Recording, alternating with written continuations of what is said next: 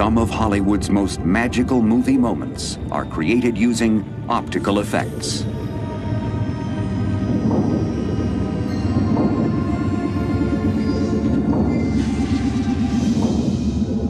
mean, it would be like that. Elements which could never be shot together are filmed separately and then combined seamlessly into a single image. Now in complete control! Almost every film ever made contains a number of optical effects, and sometimes that number is in the hundreds. Four-time Academy Award winner Ken Ralston is known as a modern-day master of optical illusions.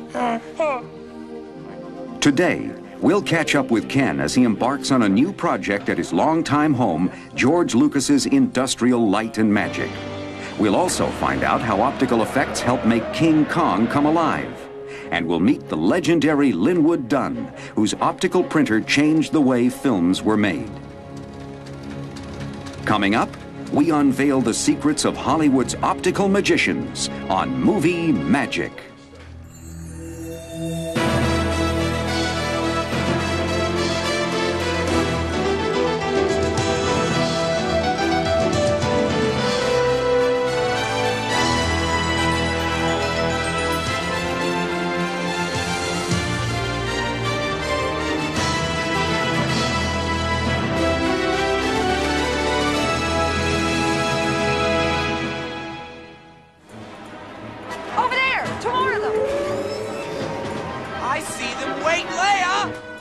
While there are many types of optical effects, one of the most widely used is the composite, which involves blending two or more pieces of film into a single image.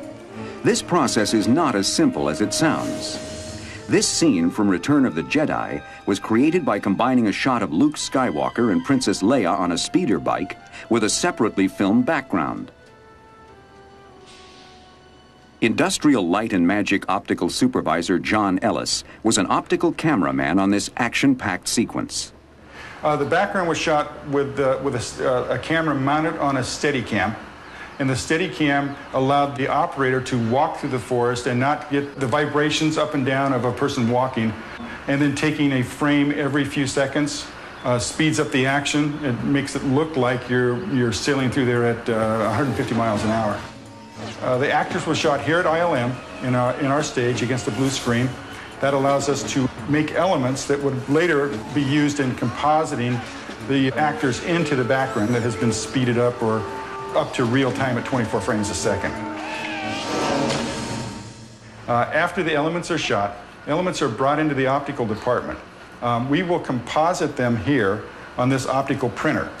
Um, this printer is a special piece of equipment that was built by Industrial Light and Magic and um, was uh, originally used on Empire Strikes Back. The printer consists of two projector heads which beam previously shot footage and a camera that re-photographs the images and combines them together one frame at a time. If we just simply double expose the, uh, the two images, we'd have a ghost image, or you would see through the uh, trees, you'd see through the speeder bikes. So we have to go through a matting process to, to hold the area where we want to put the people back in. The matting process that John utilizes involves three steps. First, he must imprint a silhouette of the speeder bikes called a holdout mat onto the tree background. Next, the blue background is removed from the speeder bike shot. Finally, the isolated speeder bikes are printed onto the background, replacing the silhouette and completing the shot. Compositing uh, is, is really a great thing because you can put people in environments that don't exist. You can change the environment, you can make it faster or slower, uh, you can make it day or night. There's an unlimited amount of things that you can do to manipulate um, how people are in space and time. One of Return of the Jedi's effects supervisors was Ken Ralston. After winning an Academy Award for Jedi, Ken went on to capture three more Oscars for Cocoon, Who Framed Roger Rabbit, and the effects driven comedy Death Becomes Her. I have a background that I understand all the different effects that can be done. And it's just a matter of knowing what those can accomplish and what best benefits a particular shot. Ken started experimenting with optical effects as a teenager with his no budget film, The Bounds of Imagination. The Bounds of Imagination was shot when I was 14 years old, on weekends and every spare moment we had. It was all 8 millimeter, and uh, essentially it started off with a friend, Glenn Anderson, and myself, just wanting to do some kind of a project that encompassed a lot of different effects work.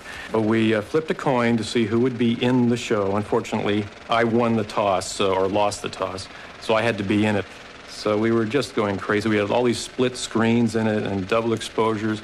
We had to run off into the closet, back the film up by hand, and started at the first part of each roll, and then time back to where we thought our split screens would take place. In the early 1970s, just out of high school, Ken worked on television commercials for Cascade Pictures. While helping create these effect scenes, he met an effects artist named Dennis Muren, who soon moved on to work with George Lucas. After a while, Dennis got some script for some obscure film called Star Wars, and they wanted him to work on it.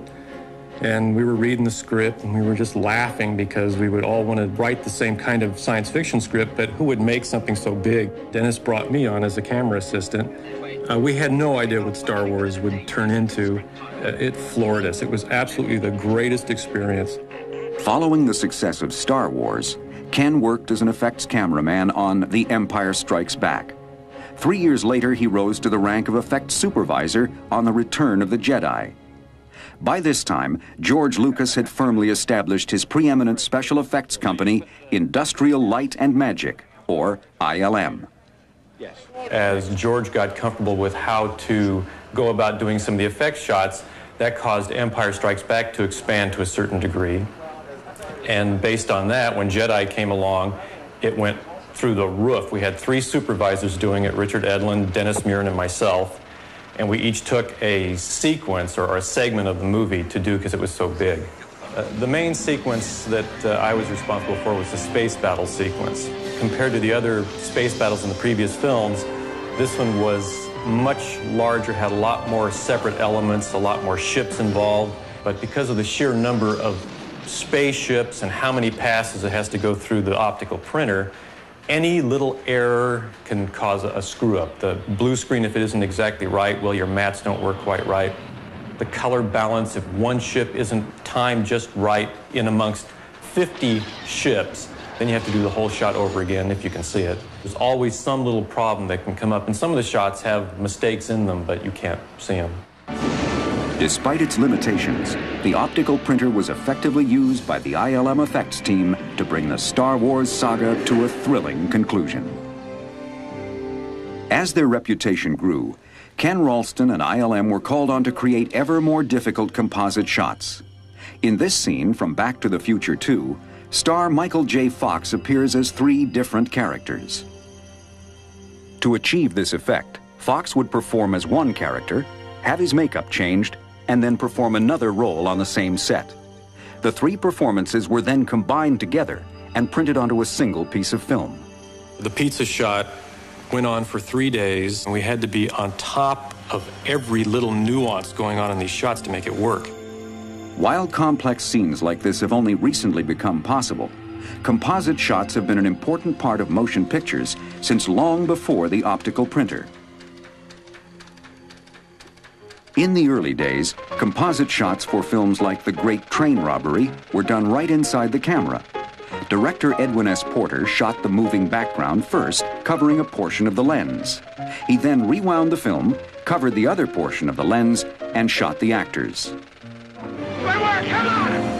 In the 1930s, filmmakers began to develop the optical printer as a means of combining images.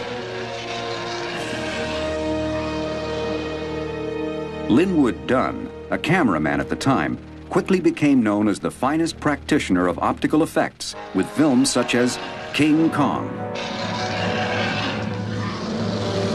I did the optical printing for the studio, and so when I walked in on the stage one day and saw them trying to put shots together in a more difficult way than they could on an optical printer, and I then said, look, you shoot those things separately and I'll put them together. And if you want to change the contrast or make it lighter or darker, I just run them through again.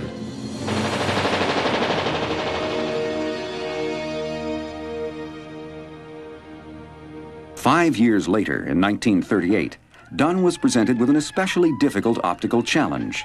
He had to combine shots of stars Katharine Hepburn and Cary Grant with a full-grown leopard named Baby.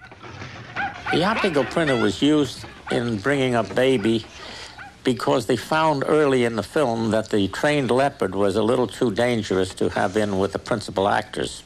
The shot, for example, where up in the hallway, Cary Grant walks through, gets in an elevator, the leopard follows him, and then Hepburn follows the leopard, were all shot separately, but we always had to shoot the leopard first because we wanted to see how fast he walked.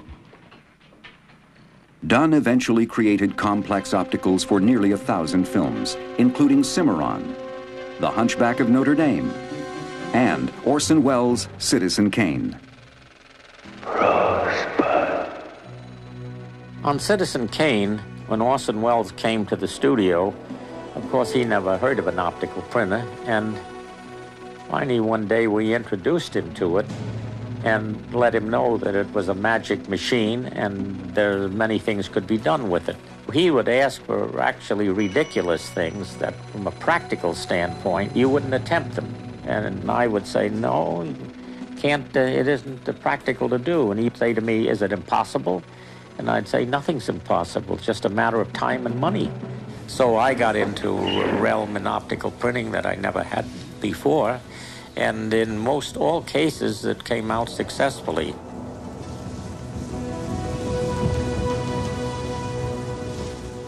For this scene, Dunn used his optical printer to combine live action elements of Welles, the people in the aisles, and actor Ray Collins with matte paintings of the poster of Welles and the seated audience. One of the more interesting shots recreated in post production was the one where the camera went up the side of the building in the storm, over the roof, and through the skylight down into the nightclub. They were two separate scenes, and when Welles wanted to combine it into a continuous scene, I introduced a synthetic lightning flash on the optical printer, combined it by an out of focus mix with the reverse zoom going down into the nightclub. By the year 1942, dozens of optical printers were in use in Hollywood. Each one of these printers was custom designed. Linwood Dunn was hired to create an optical printer which could be mass produced by the military. The need for an optical printer in the training films in World War II became very apparent when directors like Frank Capra got into the service in the Signal Corps and they were commissioned to make certain kind of training films and propaganda films. And so they were used to having the certain sophistication that motion pictures have. They couldn't order them because it was not a shelf item like a camera. So kodak commissioned me to design printers and see that they were manufactured for the united states government. The acme dunn optical printer quickly became the standard and Dunn was honored with an Academy Technical Achievement Award, which was upgraded to an Oscar in 1981. I believe I've been very lucky in my career because it covered a good many years from the silent days through sound and into all this new technology. But I think the most rewarding part of it uh, is the number of wonderful people that I've worked with. I loved what I did, and I uh, have the benefit of tremendous satisfaction because I can look on the screen today and see things I did. And well, we can have the eyes move. Uh, the hands, if we if you extended this shirt out to here a little bit more, uh -huh. then we could okay. then puppeteer, make the you know do all the joints inside the clothes so it doesn't I look see. bad. That's a great idea. Like Linwood Dunn, Ken Ralston is an effects artist who specializes in compositing multiple images into a single eye-catching shot. His Academy Award winning work in Death Becomes Her utilized his background in optical effects, along with cutting edge digital technology. The hole shots in Goldie Hawn, the ones that seem to need the computer graphics the most are the real beauty shots, the close ups, where you really see the texture inside the hole, even though it's a subtle effect. This experience with digital technology is becoming increasingly necessary for effect shots that are ever more complex might be nicer to get more happening in here so he could do more, you know, bend his arm a little bit more. So it's not just such a stiff feeling like that. The, out of all the puppets we have, this one has the potential to do a little more movement than some of them do. Today, Ken is starting work on a big budget television commercial about a toy army that attacks a refrigerator filled with Perrier's sparkling water. This will require several live action elements, such as animated dolls, a bicycle, and a toy car. These elements will be integrated with toy soldiers created as computer generated imagery or CGI. This will require some elaborate compositing techniques. Ken first meets with producer Clint Goldman and production designer Harley Jessup to plan how the effects will be executed. The bicyclists will be blue screen rod puppets. I was going to say, do you think it would help at all to shoot the bicycle uh, in the in the actual shot instead of shooting it against blue screen? I would love to shoot it in the set, but the uh, the sets uh, will have to make the the bicyclists larger scale than the set just to get the rod puppets to work. So we'll have to shoot them blue screen and mat them in later. It's great working with Ken. It, one, because it's fun. He, he's really funny. Uh, the other other is that technically he knows what he's doing. Any image is possible to get with him, and it just makes it for an art director are really exciting. After looking over the storyboards, Ken works with ILM model makers to produce the collection of toys which will be brought to life. Have him be more active, like he's sitting here and then he runs back here and he sneaks out here and he runs in and he sneaks out here and he's just kind of trying to get a peek through all this stuff. Ken engages model maker Richard Miller to produce another of the show's characters, a mechanical antique doll. The doll's design is based on a series of concept drawings.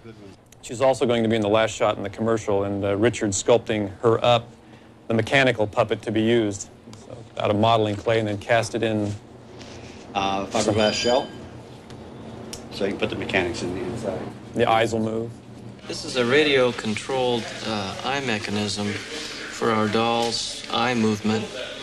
What happens is this this transmitter will send a signal to this little motor, and the motor turns the arm, which in turn rotates these eyes right and left. So what this means is we don't have to have rods or anything going into the head. We can just, by way of moving these joysticks on the transmitter here, we can have control over that. The doll will ride in a model Citroen fabricated by veteran ILM model maker Ira Keeler. Like it's, it's chrome plated tin on the real in the toy. Mm-hmm. Because um, That's this, fine. It's the more toy-like, the better. We're going to shoot this car blue screen. Camera will be on this side looking at it. It'll have a nice chassis bounce to it, so it looks like it's having some trouble. This doll will drive the Citroen. His head and arms will move in the shot.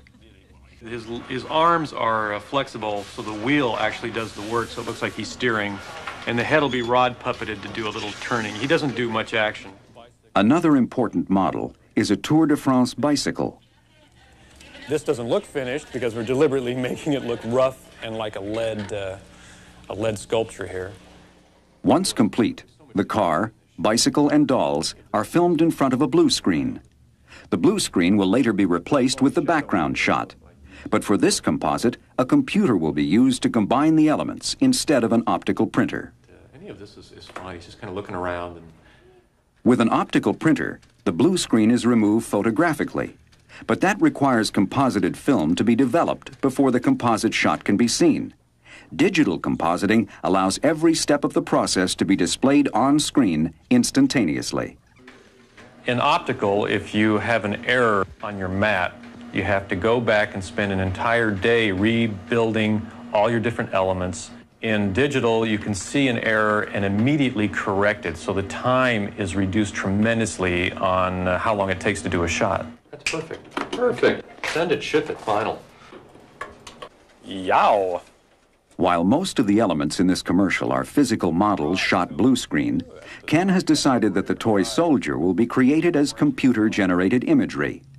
This allows the animators to make one soldier and then use the computer to replicate it into an entire army.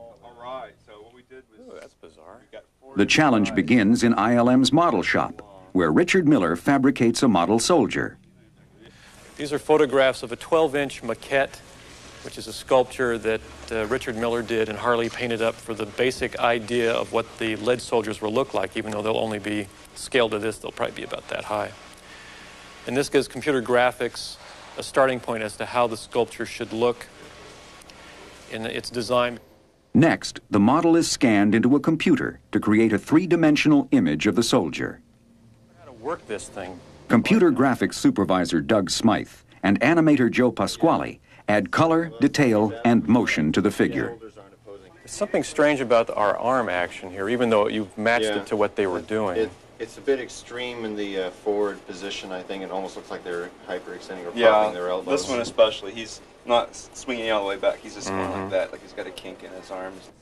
With Ken's input, the CGI team completes the animation. Oh, that's fantastic. I love what the shadows are doing here. That's really great. Working how the lights is just shifting around them like that. The last element needed to complete the commercial is the sparkling water itself. We shoot it locked off slightly wider than what this is, but this is a good starting point to get these uh, measurements down. Once the soldiers attack the refrigerator, the bottles will explode, drenching all the toys with a sparkling shower. Okay, we go. Ready and action. A pressurized system is used to create this physical effect, which is filmed on a high-speed camera at 120 frames per second. Go and rolling. When the film is slowed down to 24 frames per second, the blast of water will appear slow enough for the scene. That wasn't bad. That was real nice. Good. And at 120, we got plenty to use. Yeah. Finally, all of the CGI and live-action elements are combined together digitally. This involves transferring all of the isolated elements onto computer and then matting each element onto the background.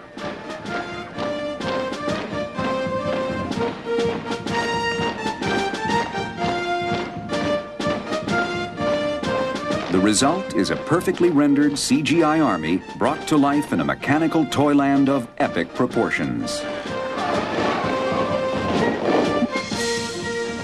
At ILM, the spectacular has become the expected. But that doesn't stop Ken Ralston and his cohorts from continuing to look forward. And you're always trying to push that envelope, give the audience and the production people something that will, you know, be unique. And trying to find that next unique image is a, a constant challenge. And I think that keeps us, you know, those juices flowing. And it's, uh, it's what drives us crazy, and I think it's what inspires us the most.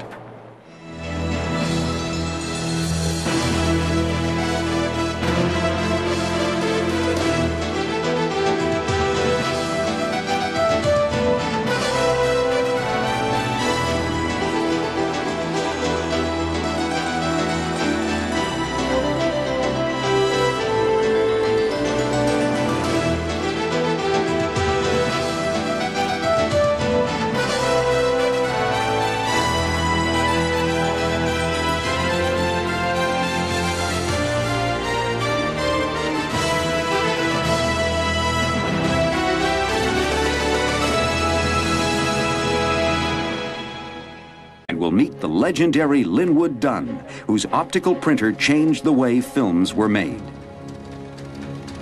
Coming up, we unveil the secrets of Hollywood's optical magicians on Movie Magic.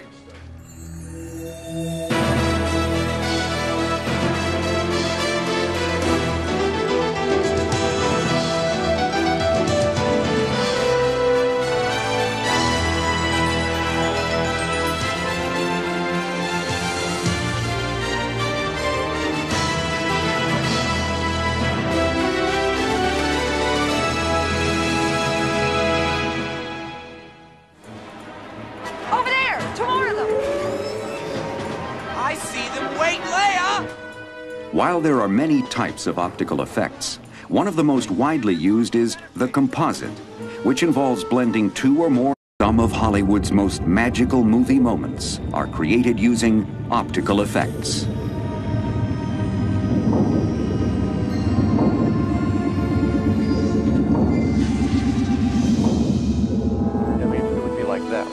Elements which could never be shot together are filmed separately and then combined seamlessly into a single image.